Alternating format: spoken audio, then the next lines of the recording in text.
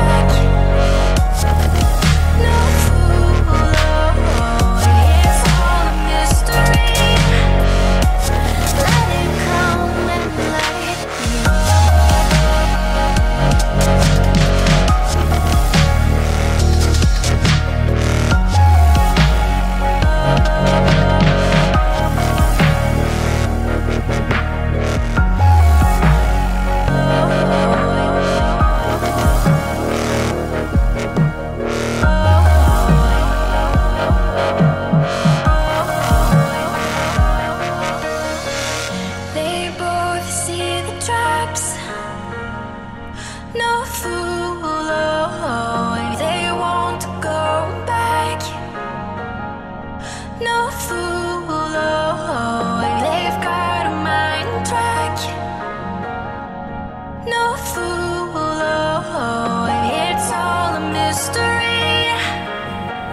Let it come.